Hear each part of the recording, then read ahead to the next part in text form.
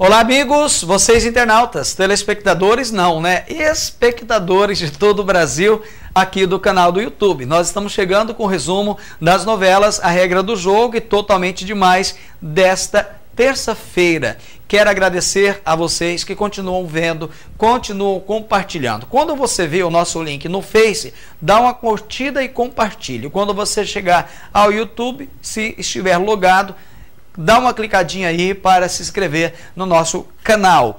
Olha, é claro que você já viu o resumo de segunda-feira, mas para nós a semana está começando hoje, né? Porque na segunda estamos gravando para a postagem de terça-feira. Então, uma ótima semana para todos vocês. Obrigado pelo carinho da atenção.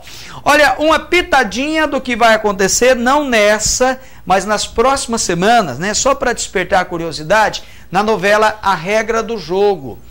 Duvida que a Atena ela vai convencer a Toia a matar o Romero, vai fingir um acidente. Ela vai ser sequestrada pelo Romero, ela consegue se livrar e a Atena ela incentiva a Toia a incendiar o local. Aí o Romero morre queimado e sabe o que acontece a partir de então? A Atena que incentivou passa a chantagear a Toia. Fala: ou você passa as ações do laboratório para mim, ou eu vou te entregar à polícia. Aí, resultado, a Toya se obriga a passar todo o dinheiro e a herança que ela tem do laboratório lá do Gibson para a Atena. E essa Atena consegue ser perdoada novamente pelo Gibson, volta para a facção e passa a ser sócia dele no laboratório. Gente, será que essa mulher é poderosa? Essa, essa é uma bandidona profissional mesmo. Mas vamos nesta semana, nesta terça-feira, a regra do jogo. Kiki revela a Nora que Aninha é sua filha com Zé Maria. Gibson se desespera ao encontrar Kiki na casa dele. Em seu cativeiro, Toya descobre que Zé Maria está preso. Kiki ameaça Gibson para ter Aninha de volta. Dante confronta Kiki e Nora repreende o neto.